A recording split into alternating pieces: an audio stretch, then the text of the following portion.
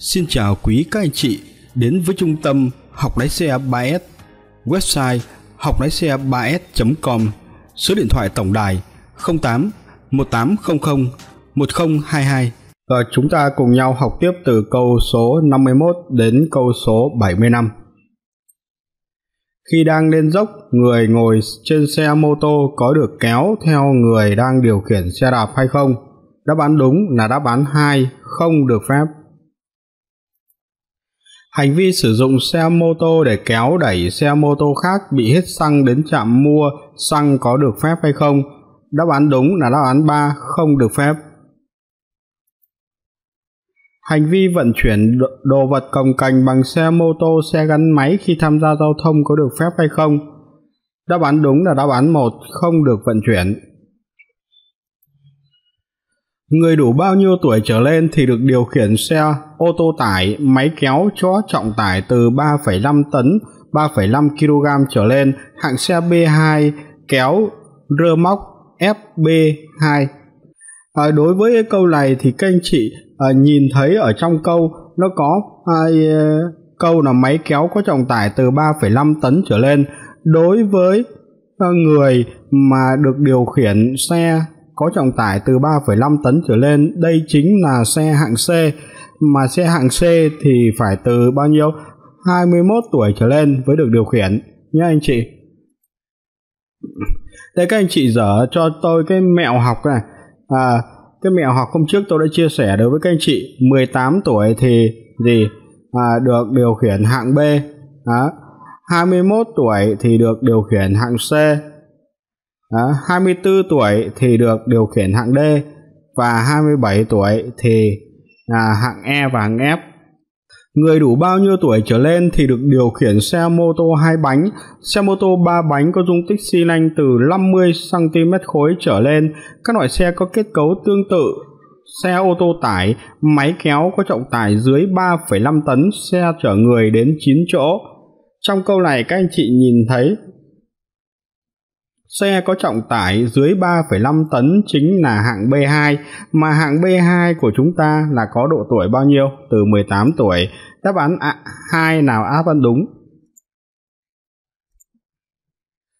Người lái xe ô tô chở người trên 30 chỗ ngồi hạng E, người lái xe hạng D kéo rơ móc FD phải đủ từ bao nhiêu tuổi trở lên?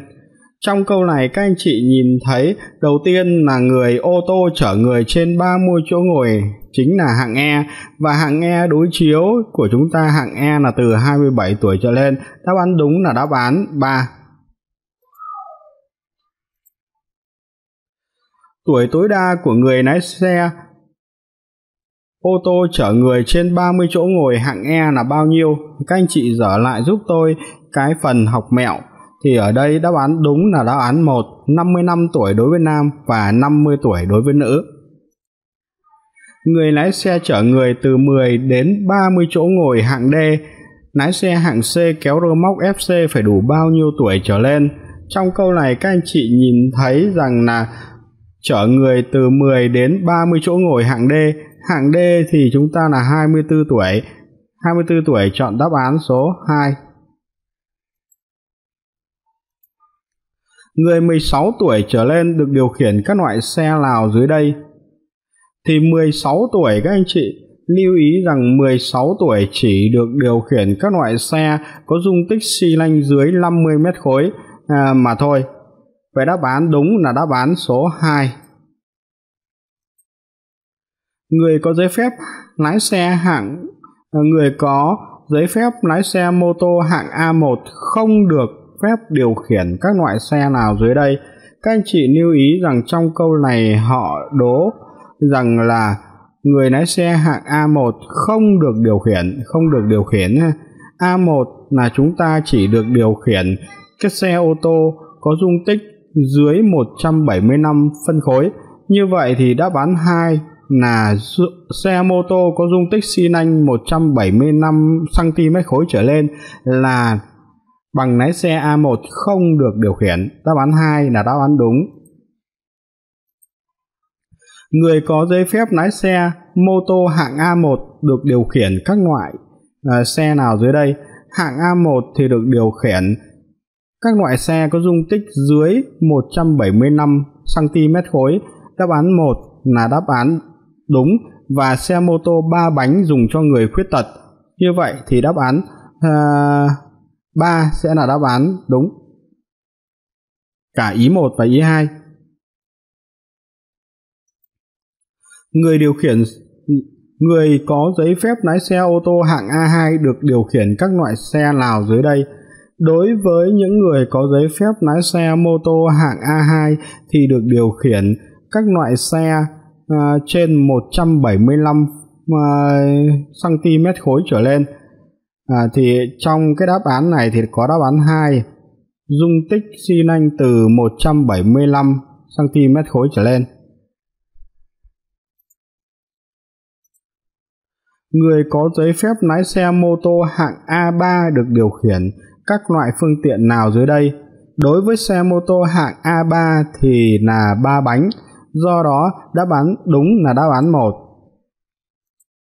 Người có giấy phép lái xe hạng B1 số tự động được điều khiển các loại xe nào dưới đây?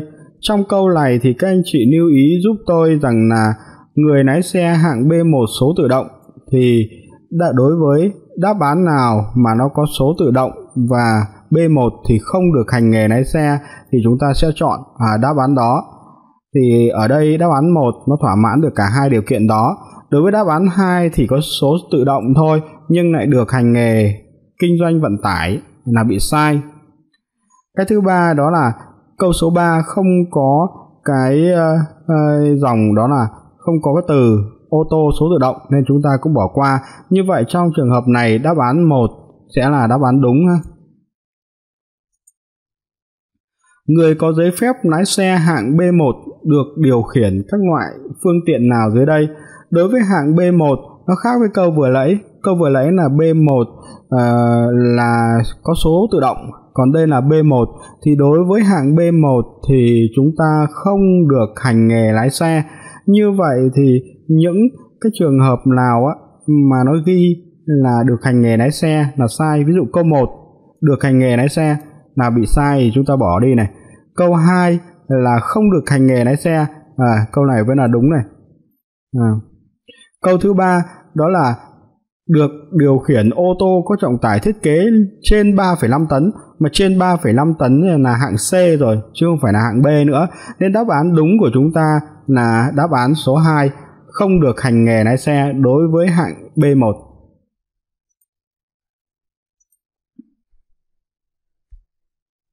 Người có giấy phép lái xe hạng B2 được điều khiển các loại phương tiện nào dưới đây? Đối với hạng B2 thì chúng ta gì? Được hành nghề lái xe rồi nhé. Và hạng B2 này chỉ được phép gì? điều khiển à, các loại xe có trọng tải à, dưới 3,5 tấn thôi. Vậy những cái câu nào mà nó ghi rằng là à, có trọng tải dưới 3,5 tấn thì là đáp án đúng anh chị. Ở đây là đáp án ở đây là câu số 2. Cái câu số 1 thì chúng ta thấy rằng là trong câu này thì nó lại ghi là trên 3,5 tấn là B2 không được sử dụng trên 3,5 tấn là của hạng C. Ờ, Câu số 3 cũng có à, trọng tải trên 3,5 tấn cũng là bị sai. Như vậy trong trường hợp này chúng ta chọn đáp án à, số 2 là hạng B2 thì là à, được phép sử dụng điều khiển xe ô tô tải có trọng tải dưới 3,5 tấn. Người có giấy phép lái xe hạng C thì được điều khiển các loại phương tiện nào dưới đây? Hạng C như vừa nãy tôi nói rằng là trên 3,5 tấn, xe tải trên 3,5 tấn là hạng C nó sẽ được điều khiển. À, như vậy thì chúng ta sẽ tìm à, à, những cái từ nào mà những cái câu nào mà nó có hai ý. Ý thứ nhất là chở người đến 9 chỗ giống B2 và được à, à, sử dụng điều khiển cái xe tải trên 3,5 tấn thì ở đây câu đáp án thứ nhất là chở người trên 9 chỗ. Trên 9 chỗ là của hạng D. À, nên chúng ta bỏ qua đáp án 1 thứ hai đó là chở người từ 10 đến à, 30 chỗ ngồi cũng lại bị sai bởi vì à, giấy phép lái xe hạng D mới chở người được từ 10 đến 30 chỗ ngồi. Chúng ta xét xét à, câu thứ ba đó là chở người đến 9 chỗ ngồi. À đúng rồi. Cái thứ hai, xe ô tô tải, máy kéo có trọng tải trên 3,5 tấn. À, vậy trên 3,5 tấn là của hạng C rồi. Đáp án đúng của chúng ta đó chính là đáp án số 3. Người có giấy phép lái xe hạng D được điều khiển các loại phương tiện nào dưới đây? Đối với người có lái phép, giấy phép lái xe hạng D được điều khiển à, các phương tiện ô tô chở người đến 30 chỗ ngồi. Thì đầu tiên chúng ta xét đến đáp án 1, đó là chở người đến 30 chỗ ngồi. À là đúng rồi ha. Cái thứ hai, đó là xe ô tô chở người trên 30 chỗ ngồi, trên 30 chỗ ngồi là của hạng E.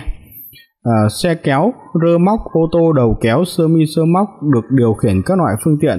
BC hạng F.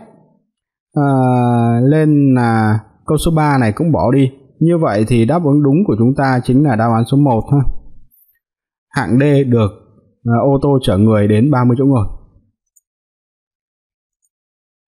Người có giấy phép lái xe hạng E được điều khiển các loại phương tiện nào? Đối với hạng E thì là trên 30 chỗ ngồi. À, trên 30 chỗ ngồi. Thì đầu tiên đó là xe kéo rơ mi sơ mắc và đầu kéo đây là của hạng F. À, nên chúng ta bỏ đáp án một đi đáp án hai là ô tô chở người trên 30 chỗ ngồi đây chính là của hạng E Đấy, đáp án đúng sẽ là đáp án hai nhé xét tiếp đáp án thứ ba xe kéo rơ kéo rơ móc và được điều khiển các loại xe ô tô chở khách nối toa chở khách nối toa đây là của F gì FE. Ừ, tí nữa chúng ta sẽ đến. Như vậy đáp án đúng của chúng ta là đáp án số 2 ha.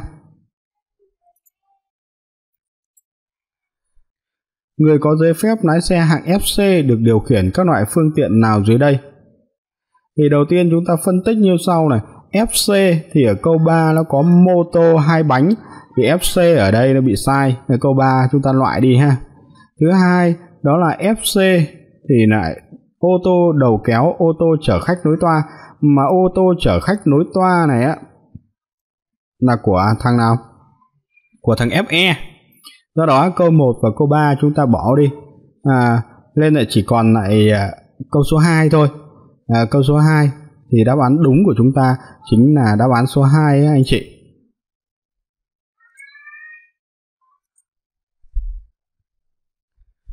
Người có giấy phép lái xe hạng FE được điều khiển các loại phương tiện gì? Như vừa nãy tôi nói rằng là FE là chở khách nối toa. À, chở khách nối toa. Đấy thì bây giờ chúng ta xét này. À, thứ nhất đó là câu 1 các loại xe được quy định tại giấy phép hạng E có kéo rơ móc và được điều khiển các loại xe ô tô chở khách nối toa. Đây, ô tô chở khách nối toa. À, các anh chị nhìn này.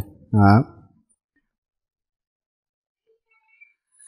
Đáp án đúng của chúng ta sẽ là đáp án 1 bởi vì có ô tô chở khách nối, nối toa nhé.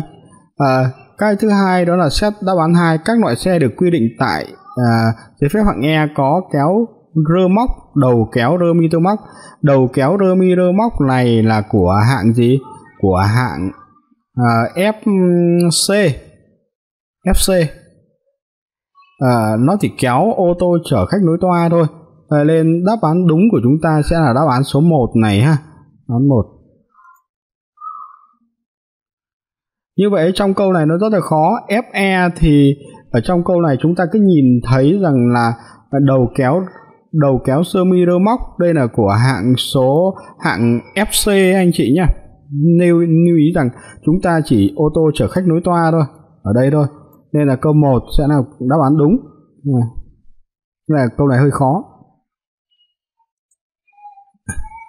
Biển báo hiệu có dạng hình tròn viền đỏ lên trắng, trên nền có vẽ vẽ hoặc chữ số, chữ viết màu đen là biển gì? Đó, thì viền đỏ thì đây là biển báo cấm. Đáp án đúng là đáp án 2. Biển báo có dịnh tam giác viền đỏ nền màu vàng, à, trên hình có vẽ màu đen là loại biển gì? Thì biển mà nền màu vàng à, viền đỏ trình đây chính là à, biển báo nguy hiểm à, anh chị chọn đáp án một. Biển báo hiệu hình tròn có nền màu xanh lam có vẽ à, có hình vẽ màu trắng là loại biển gì? Đây chính là biển hiệu lệnh phải thi hành. À, đáp án 3 biển báo hiệu hình chữ nhật hoặc hình vuông hoặc hình mũi tên nền xanh nam là loại biển gì? Đây chính là biển à, chỉ dẫn. Đáp án số 4